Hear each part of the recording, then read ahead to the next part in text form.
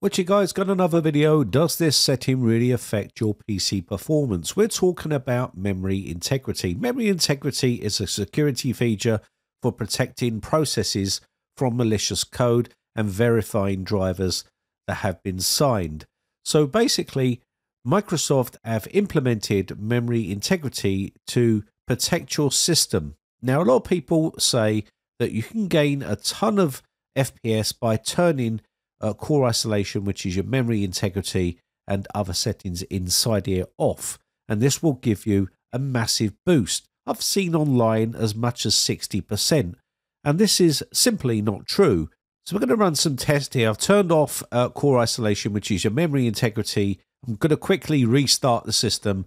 And what we'll do is we'll give it a few benchmarks to see whether this actually impacts performance.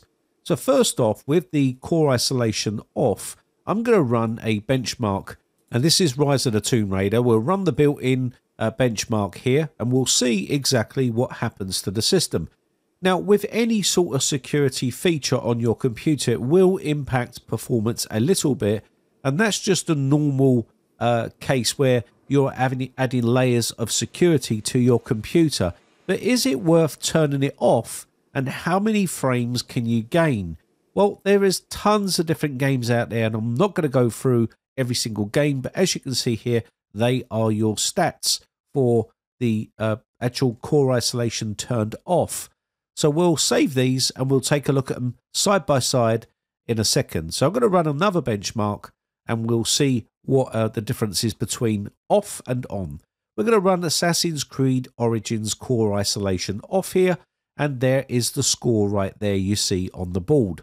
You'll notice that I've got this on ultra high settings. I'm on an ultra wide monitor 2K and I've also got a 7700X uh, processor in here with 32 gigabytes of RAM on this system. So it's a pretty modern uh, computer. I'm going to save these settings and then we'll go ahead and run with the core isolation on and we'll run the same settings. This way we'll know 100% whether there is a massive difference in performance. Now, I can tell you right now that if you've got a modern day computer, I don't notice any difference between them being off or being on. Now, if you've got an old system, maybe one of those old Dell Optiplexes or HP or one of those older systems with a first or second or third gen or even a bit newer uh, Intel processor in them, they are going to have a lot of issues because they were never really designed for gaming.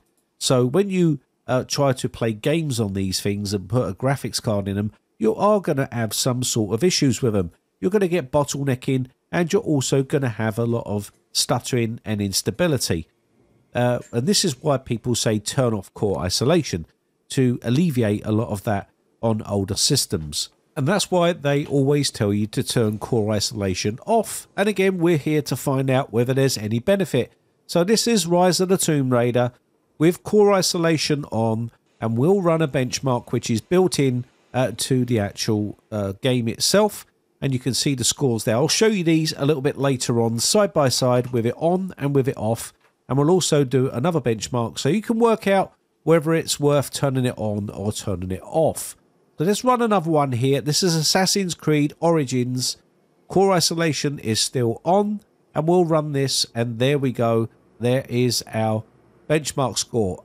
Now this is a Ryzen 7700X. We also have an RTX 4070 Ti. And we have 32 gigabytes of 6000 megahertz RAM in here. And we also have uh, the score which you can see on the screen here. So let's have a look at Rise of the Tomb Raider first. As you can see with the core isolation off and the core isolation on, these are the scores right here. Overall, you can see by having it off, you've gained probably, I would say, 4 FPS, if that. And that's all within margin of error, in my personal opinion. If you look at the minimum and maximum here, you can see with it off and with it on. So minimum is 70.25 minimum is 74.7. That's on the mountain peak.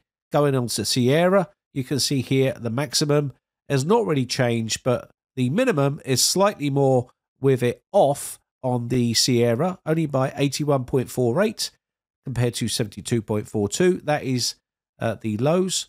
Let's have a look at the next one, which is the uh, geothermal valley. And you can see here 57.88. And with it on, you actually gain more 0.1% lows there. So that is the actual score. So nothing to write home about and nothing to make you turn it off as all these people keep telling you to do.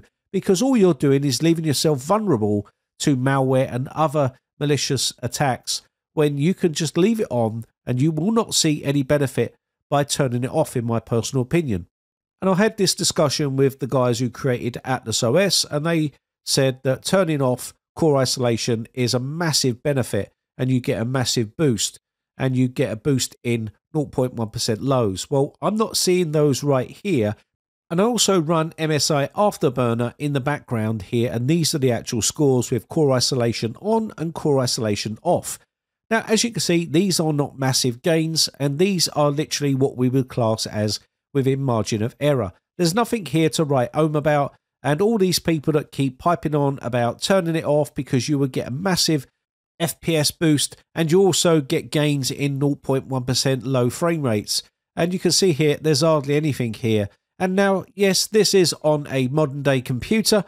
And when you run these benchmarks and show the results, all you get is, oh, you should have done this, or oh, you should have done that, because uh, it will make a big difference. And again, I've tested this multiple times on different games, and there's very little difference with it on or off. Now, there's people making videos on YouTube and also articles online that are claiming that you can get like 60% gains, 30% gains, and this will vary from game to game. And as you can see here, Assassin's Creed Origins, with it off and with it on, it actually benefited, believe it or not, with it on. We got a better score with it on than we did with it off. Now, some people think I've got some sort of agenda to try and prove a point and be right, but at the end of the day, what it comes down to is trying to give people the right information instead of giving them a load of misinformation, which is absolute nonsense. I've been doing computers for a very long time, and these sort of things that float around on the internet are just absolute garbage, and they don't mean anything when uh, you are trying to show people that this doesn't cripple or hobble the actual computer itself by having it on. You're going to give yourself a layered security which will protect you from nasty malware and also you're not going to see any major difference by turning it off. So you're probably better off just leaving it on. Now, problem with a lot of the older systems that you're seeing floating around on eBay and these uh, YouTube videos that are saying use these as gaming systems, they can play games, but you're going to have some stuttering, you're going to have some micro freezing, and you're going to also have CPU maxed out you're going to probably have a bottleneck when you put a big GPU in there. And it's just the nature of the beast. These PCs weren't really designed for gaming and they're office surplus PCs. So whether you turn off the core isolation features like memory integrity or leave it on is entirely up to you. I would advise you just to leave it on. That way you get an extra added layer of security to block a ton of malware from infecting your system. But if you're having issues with memory integrity turned on and you're having an issue where you're doing virtual machines and things like that and things are not acting properly, then of course you're best to probably turn it off if you're having some sort of major problem. Uh, but as long as you've got a really good antivirus program as well, if that is the case, then you should be okay. So, really, at the end of the day, the choice is yours whether you want to use memory integrity or not. Now, again, you can test this on tons of different games, and what will happen is you're going to see varying results from all of those games. I've just done two benchmarks here, and we should have seen a major difference, and we just haven't. And I'm pretty sure there is one game out there that you may see an improvement on by turning it off, but again, uh, how much by? I wouldn't have thought it's going to be by a major amount. Uh, you're probably going to see within margin of error sort of results, but other than that, I think that is going to be about it. So my name has been Brian from briteccomputers.co.uk. Just want to say a quick shout out to all my YouTube members. I appreciate the support. Have a lovely day and I'll catch you in the very next video or I'll catch you on the Discord server for a chat. Bye for now.